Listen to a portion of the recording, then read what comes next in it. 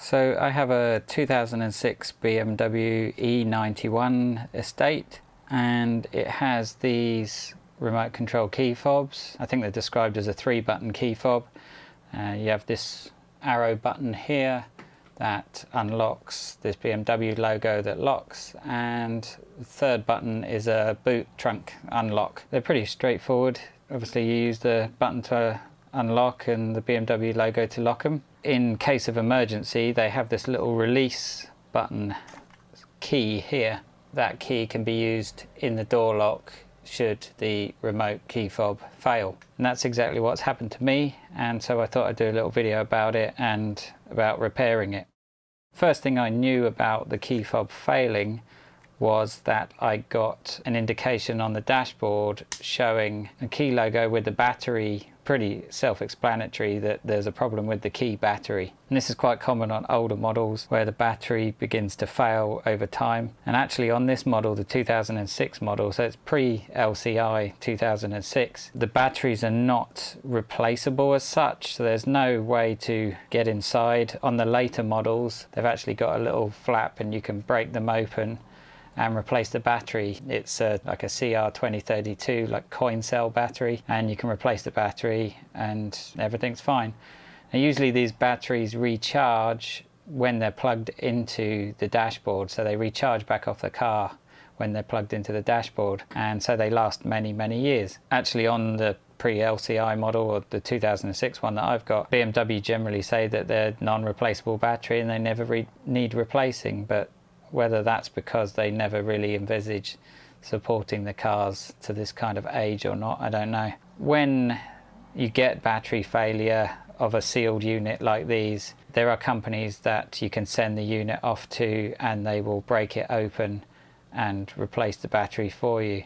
It's actually again it's a, coin cell battery and I have one here. It's literally the same sort of thing as the replaceable one but they are solder on to the board batteries. It's actually a VL2020 battery, 3 volts. They solder onto the PCB, onto the circuit board and are non-user replaceable. The people that you might send one off to to replace the battery, they're just replacing this and what they'll do is break the unit open and desolder the old one off the board and solder on a new one. I saw this problem with mine and decided that I was going to do that myself and kind of assumed that that was the issue, that the, the coin cell battery was failing and not holding a charge anymore. And so I would break mine open and replace it myself rather than need it to send it to somebody else to do exactly the same thing. So I broke mine open and they're, they're actually pretty difficult to break open. They're, they're kind of plastic welded or, or glued shut and there's a seam all the way around the outside you can see and you have to cut them open with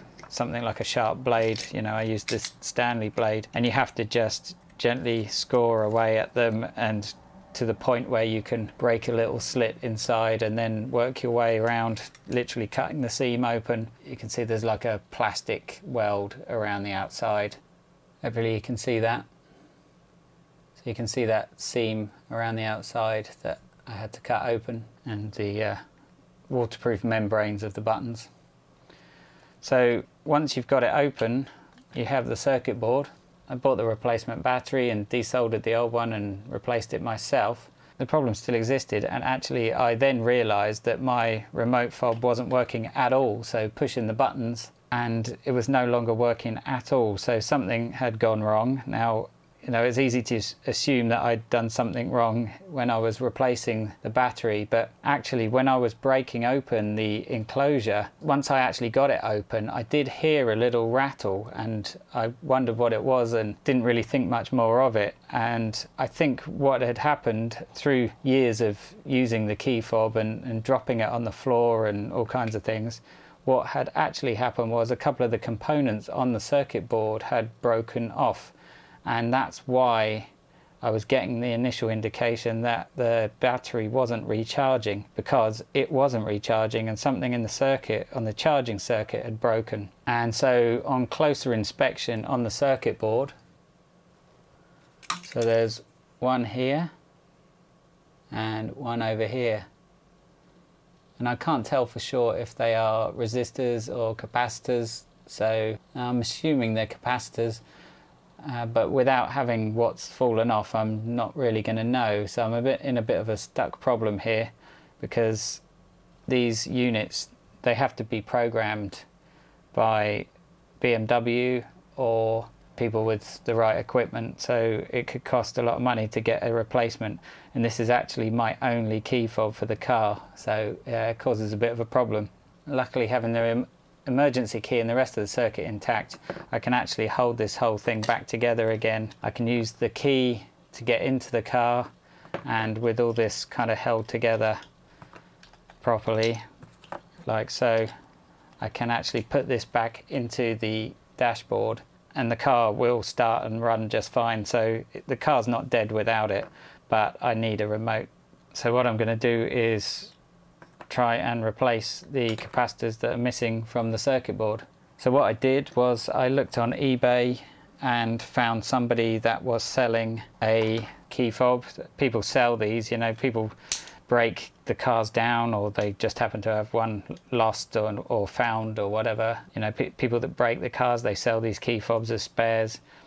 And a lot of people buy them thinking that they can get them reprogrammed for their car. That's not the case. You can't get these reprogrammed. They're programmed once only. And if you need a new key, you have to get it from BMW or somebody that's got the blanks to program new ones. So these are largely useless so don't buy one off eBay thinking that you can get it reprogrammed for your car as a spare that's not going to do you any good luckily for me people are selling these I bought this one so I can break it open in the same way and get those two capacitors off the circuit board and um, hopefully get this one working again so that's what I'm going to do so the first step will be to remove the dummy key and just get rid of that because I don't want to get that confused with my real key I don't need that and it's completely useless now. That does fit a car somewhere but maybe it's been crushed so uh, it's completely useless really and uh, I'll just get rid of that because I don't need it anymore.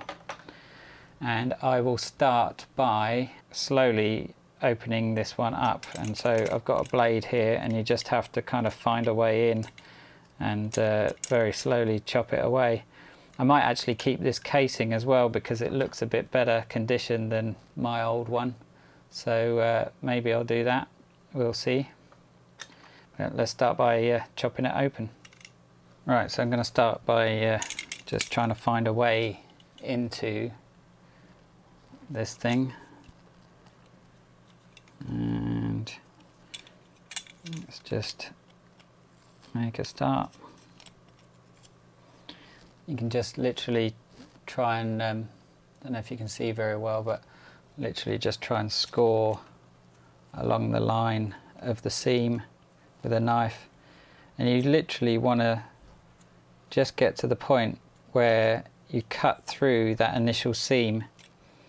And once you've got through I think actually the tip of the blade is actually through already but once you got through you can get the blade in and then sort of work scissoring around uh, just literally by scissoring around the seam like this. Um, obviously be careful, don't cut yourself. And uh, really you should always cut away from you, but that's not actually comfortable in this situation because I want to use my thumb as a bit of leverage. So just do whatever works for you without cutting yourself. Just don't put too much pressure on it or it might slip. There we go. Beginning to go. So just literally once you've got in like that, just do this all the way around and just scissor your way around like this. And I'll just time lapse the rest of this video just to uh, not be so boring for you. So uh, here we go. Okay, coming towards the end now and it's beginning to break open as I would hope. Literally just keep following the rest of that seam. There we go. It's open. So let's see what we have. Complete circuit board and it's intact. Those components that are missing off of my original are actually present on this one. Don't know if you can see very well or not, but they are present.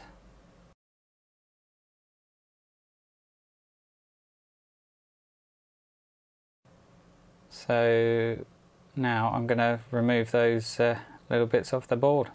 Right, so just prepared my tools and just getting some things ready. Some things I'd really recommend would be some solder braid wick. It's copper braid that attracts solder, so you use it to soak up excess solder. Um, that's really useful for desoldering things pair of very fine tweezers which can be really useful for holding components in place or holding onto them, picking them up. Some various little poking things like screwdrivers and such and uh, just some long nose pliers and a blade and you know just little bits and pieces that might come in handy. Some solder. Now you always use leaded solder because you know it just flows better. And something quite important quite useful is some flux. This is a flux pen and what that does is acts a bit like a conduit for the clean surface to attract the solder and just make the solder flow a lot better. So that's really useful the keen-eyed amongst you might have noticed that these two PCBs are not exactly the same. There are some little component differences, uh, which means they must have been a revision design, you know, slightly different design. But I'm pretty confident that the uh, components that I need, these uh, little tiny capacitors, they'll be within tolerance for the circuit, I'm sure, because they're all based around this little unit here and that unit is exactly the same on both key fobs. So I think everything will be fine as far as that's concerned. Uh, I have some decent confidence in that. Just zoom in a bit so that you can see the differences if you're that interested. Uh, so you can see this coil here is different and just some very slight differences in the uh, the layout of the PCB and the placement of the components. So yeah, not 100% exactly the same. What I'm going to do to begin with perhaps is clean up my original board, just clean the, uh, the pads where the old components used to sit and uh, always good to make sure your soldering iron is very clean before you start as well. So get that up to temperature and get it clean. And I'm just going to get some flux flowing on my board there just so that things don't burn out and create a load of mess. Okay, I'm going to zoom in so that hopefully it could be of some use if you can see it well enough. So hopefully you can see that what I'm going to be working with is the component missing from here. See those two pads that uh, used to be holding a little capacitor that's exactly the same as the one next to it here. So that's this two pads here. Then we've got the same thing over here. There's one still in place and then there's some pads there where the original was broken off.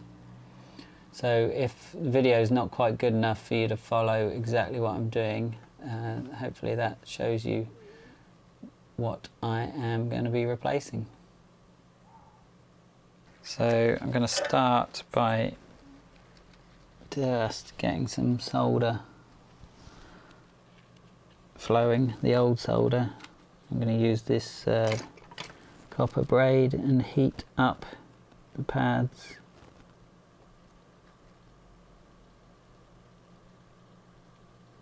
And just move them around a bit. There we go. And that just gets rid of any old residue or bits of the old component that might be sitting there still from broken uh, from the broken legs.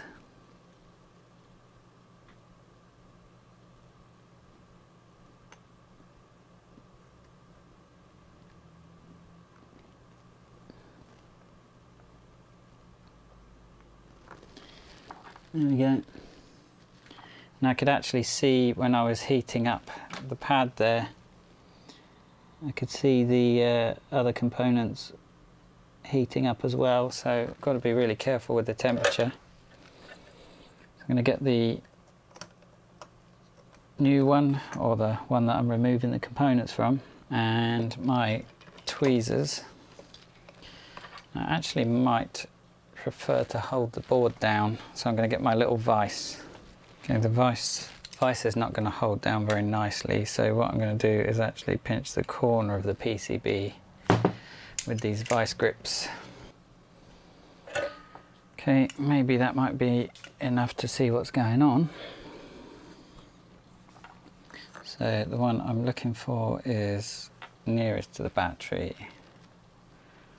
Let's see if it moves Uh, heating it up a bit.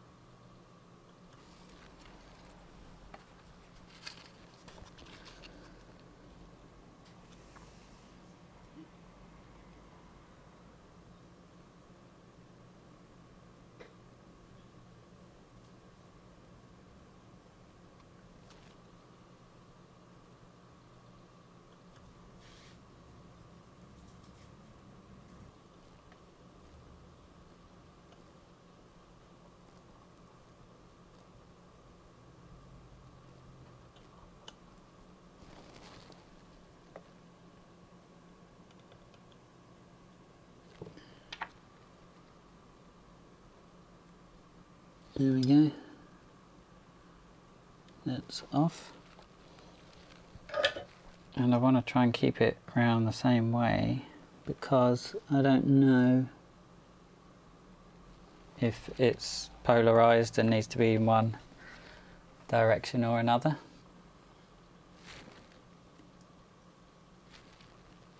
That's it, and it's tiny.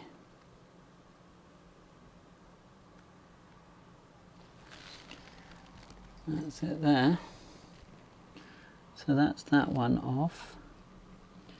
And the other one that I want is that one there. So I'm going to try and get that one off.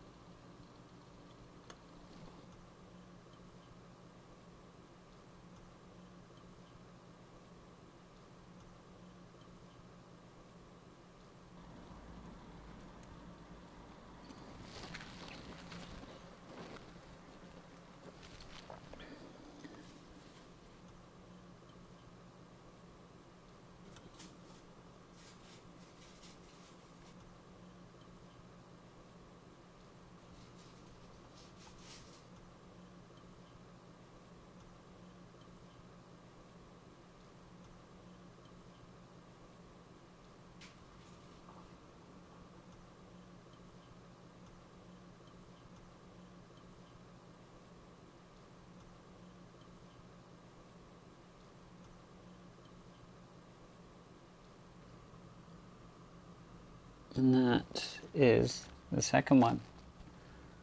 Hopefully you can see that there. So now to get this PCB out of the way and put them onto the new board. So I'm going to lay that one just out of shot but in line with where they want to go. Right, I'm place that new PCB to work with, I'll place there. Just hold it still in those vice grips. The vice grips aren't tight so it's not causing a big problem. Right, to start with, I'm going to try and put a little bit of fresh solder on the pads, but first I want to put a bit of flux. Still looks like there might be some copper leftovers on that pad on this side. Uh, see if I can clean that off a little bit.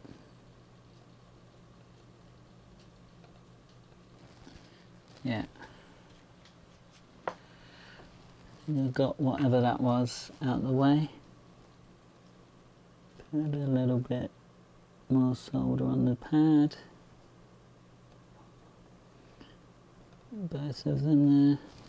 Now the idea is to hopefully be able to put the components down and hold them in place with the tweezers and just dab the soldering iron on to melt the solder properly in place because I don't have the hands to introduce fresh solder while holding the iron and the tweezers and this is where you realize how incredibly shaky your hands might be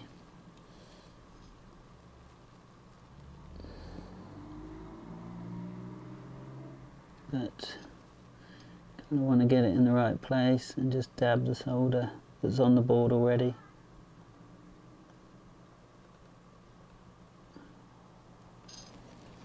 Like so. Maybe I can just push down on the component to flatten it on the board properly this time because it's on there now but it's at a little angle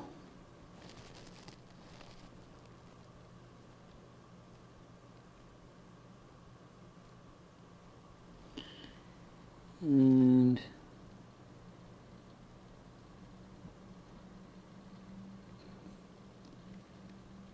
a little bit wonky.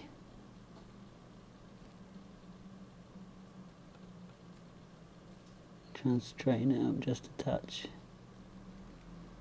There we go, that's straight. Try and dab the other side. Maybe even try and introduce a tiny bit of solder now that I have the first side down and a little bit more flux on. You can never use too much flux. No such thing as too much flux.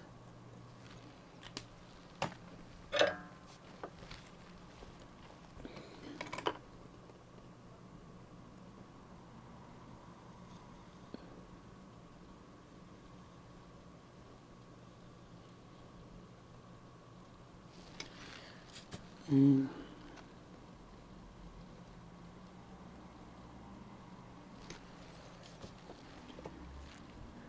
Hopefully that's done a decent job. Just try and clean that a bit with the flux pen. Let's try number two.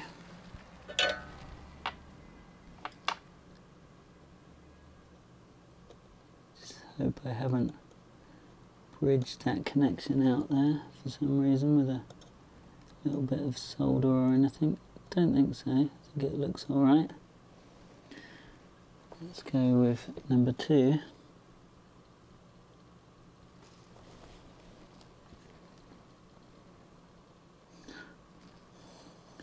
That was a bit difficult.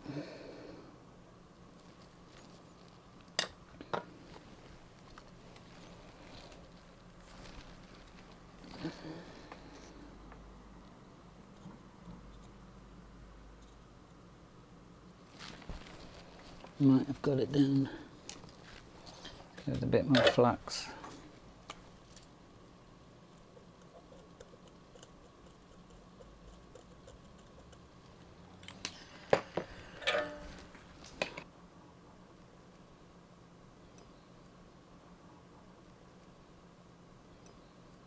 and hold it down.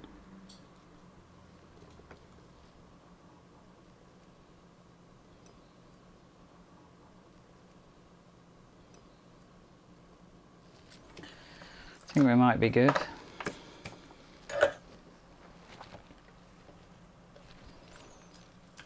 Try and take a look. Okay, don't know how well you can see there, but we might be lucky. Only one way to find out, and that's go and try it out.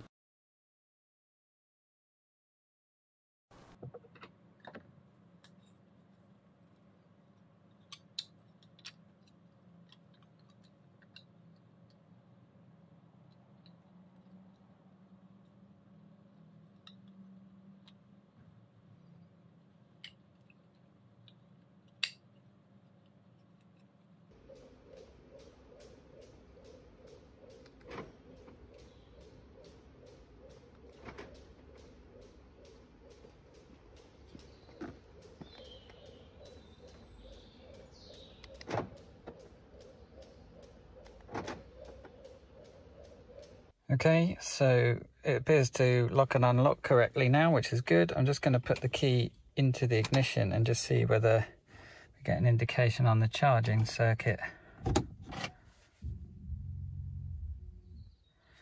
No sign, which is good. So I think we're all good. I'm going to eject it now. And yes, success. I have repaired the BMW E91 three button remote control. Happy days. Okay, success. It worked. As you see there in that uh, little clip I made with my phone, it just works. And so uh, I have obviously managed to solder that back on and make some decent contact with it. Now, I don't know what to do really about the potentials of this happening again on some of the other components. I could go around and reflow the solder on those but to be honest for now I think I'll probably just leave it be. I could potentially do what they call potting and put some epoxy resin on top of the components just to hold them down and stop them shattering. I'm not even sure whether to do that or not and I think perhaps that if I seal up the casing nicely that if I have a problem in the future and I open up the casing I just open it up very very carefully and the components will hopefully drop out onto my work surface where I can see them. It was just because I didn't realize what had happened when I actually opened this up the first time and I lost those components. So if I was a bit more careful, I would have been able to save those components and I wouldn't have lost them and I wouldn't have had to buy this second one. So lesson learned, but luckily I've managed to repair it and I'll keep this PCB because the buttons and the other components, even the battery could be of use in the future. I don't actually think there was anything wrong with my original battery. I don't think it was uh, actually going flat. I think that it was the charging circuit that was the problem the whole time. So that original battery is probably fine as well. But in total, it hasn't cost me an awful lot of money. The replacement battery I originally bought was £4 on eBay and this spare unit was I think maybe six or seven pounds delivered from eBay as well. So you can get them and you can use them for replacement parts. I, I, have read that the buttons do fail after a while, so these replacement buttons would be useful and it's worthwhile for people to be selling them secondhand for things like the replacement buttons. If you don't get brand new ones, I mean, it'd be easy enough to buy brand new ones when you know what you're looking at. Anyway, yeah, lesson learned, but just a word of warning, you know, don't buy one of these off of eBay thinking that you're going to reprogram it because that's just not possible. If you need a new key fob, you're going to have to go to BMW or to one of these third party people that does do reprogramming. You're never going to be able to reprogram your unit to a second hand one. Anyway, hopefully you found that useful or interesting and I'll do maybe some more videos a bit like this in the future if uh, if it's of interest. So right now what I'm going to do is get the old trusty Loctite super glue and I'm going to glue back up around this seam and put it back together again and call that job done. So thanks for watching the video and uh, take care out there.